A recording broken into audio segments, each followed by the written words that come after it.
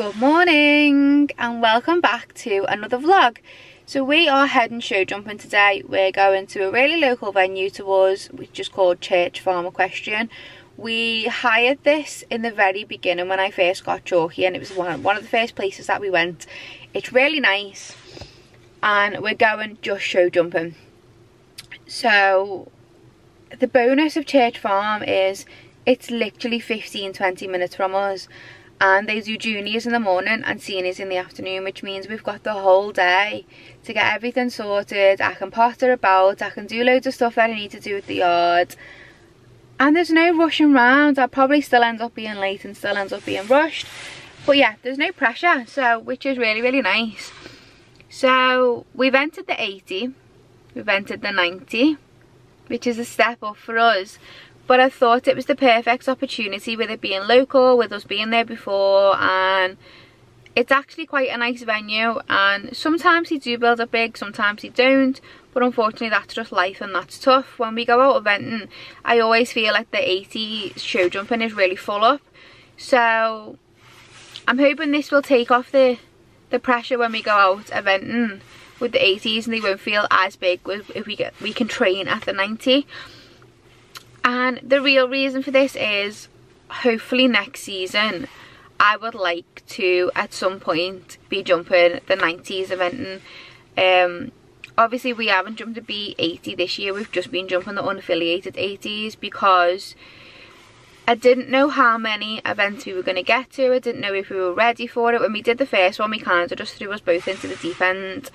And I didn't see the point in registering the membership because we weren't going to be able to make many of the events which were local to us.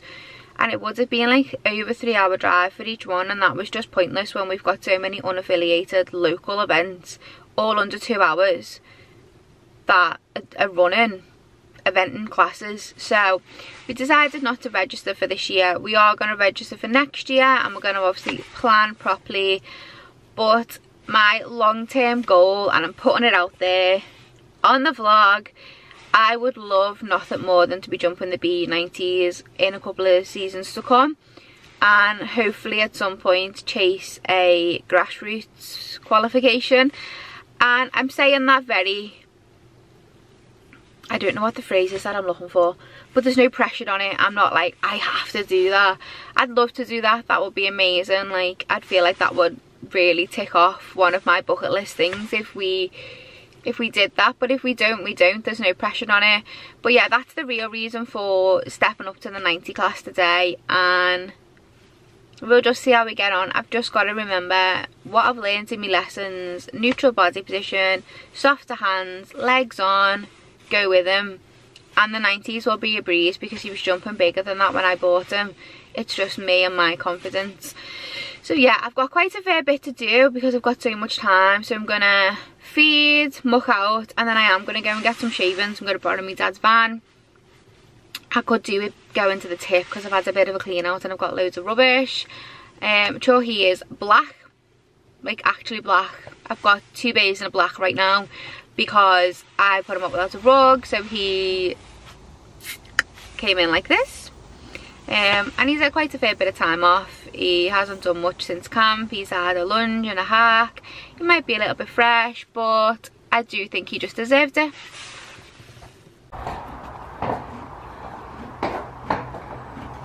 Hello.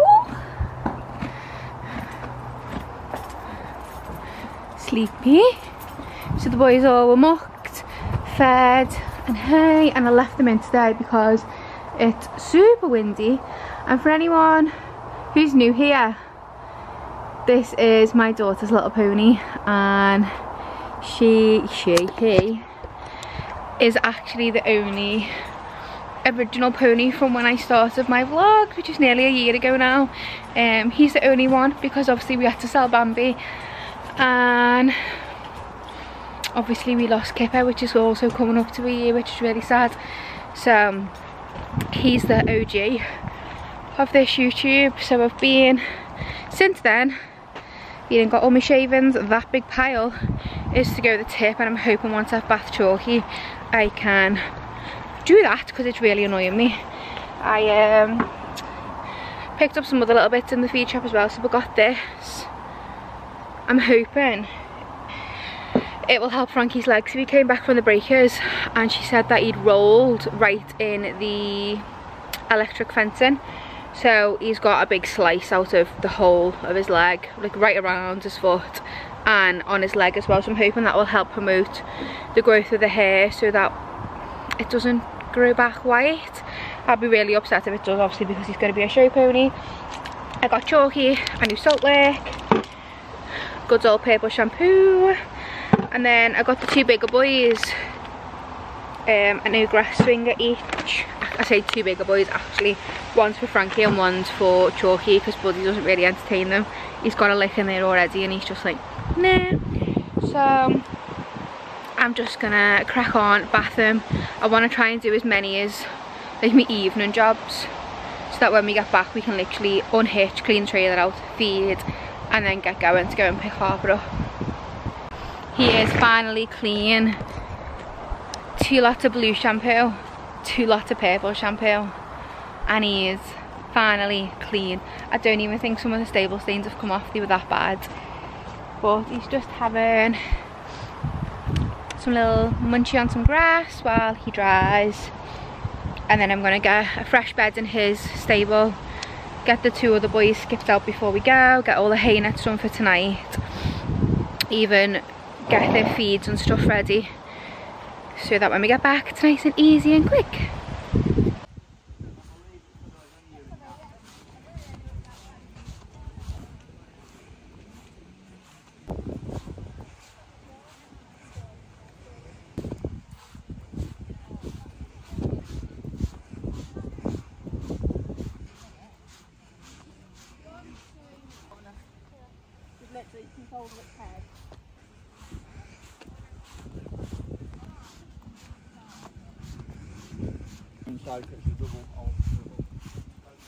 Six strides, yeah.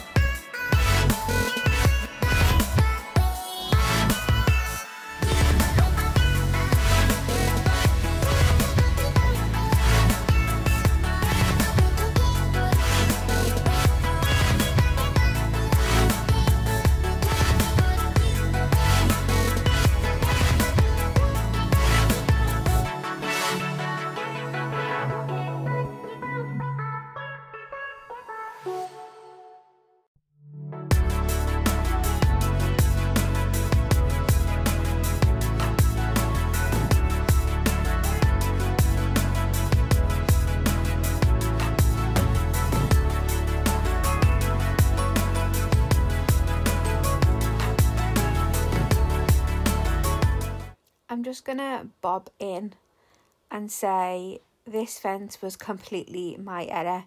He was just bowling on so confidently, and I felt like I had no control to the point where I took a huge pull and took my leg off, and obviously resulted in such a crappy stride. And then there to the red oxer, I just felt like I had no control, and I literally regretted taking him in on the snaffle. I was like, what have I done?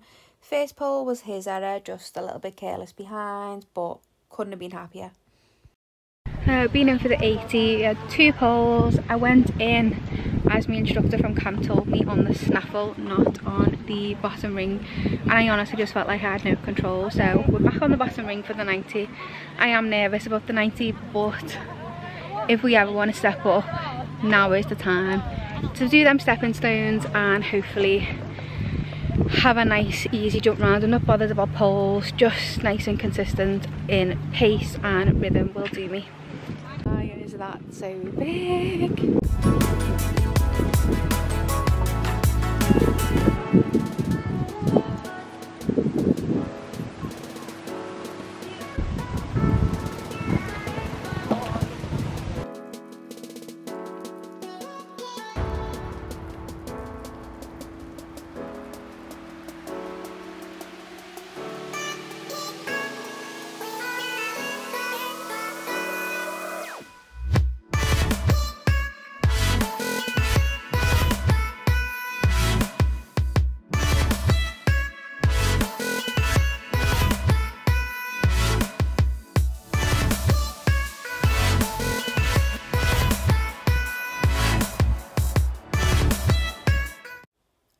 90 it was a bit messy he was still as keen i felt like i was fighting with him like there i was like just wait my legs on to support yeah you can make the distance but please just wait instead of rushing.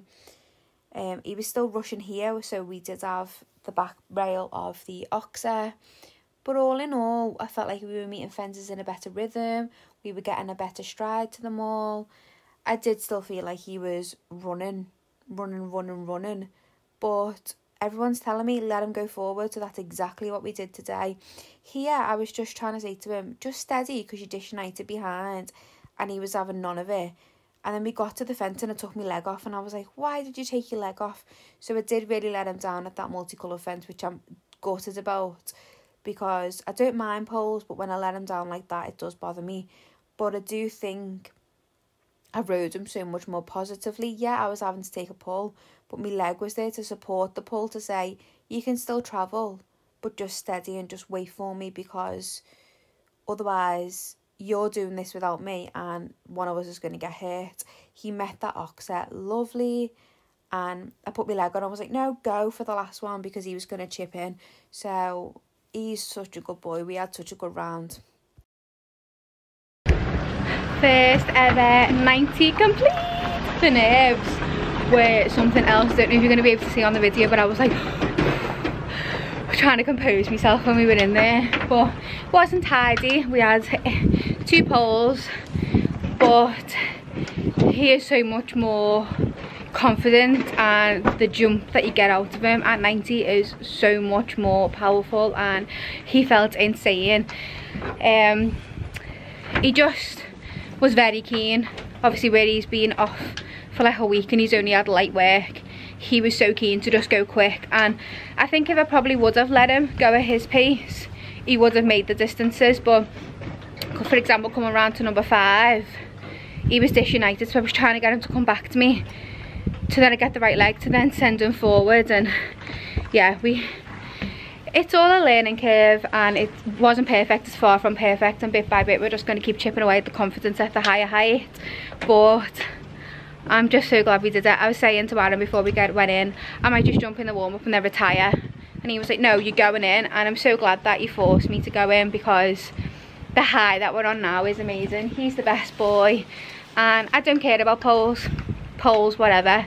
Um, yeah he was just fab and we finally even like pushed ourselves out of our comfort zone and jumped the next height so I am super happy. We're gonna get these this this boy home and we will see you in the next vlog. The next vlog probably isn't going to be for a few weeks. It was going to be a little bit of a break because he's getting a well-deserved 7 to 10 days off. They're not robots, they all need a break. And I'm going away for the weekend, this weekend coming to Belfast for a hen do. So perfect timing for him to have a break. And then next competition back from his break is going to be Kelsall Hunter Trial. We've also got some um, cross-country training at Smallwood booked in and we've got a one-day event at Elland Lodge. Some people say Elland, I call it Eland. Someone tell me is it Elland or Eland.